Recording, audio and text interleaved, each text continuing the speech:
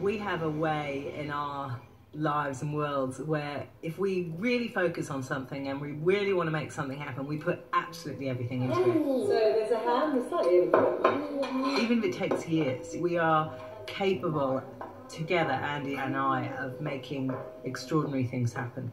You.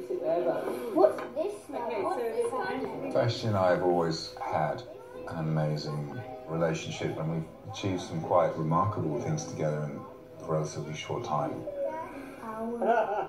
Because we believe that all that is attainable. Hmm. And it's such a powerful place to be when you can think like that. creates the space for you to be clear and to run your life with your intuition and not with fear.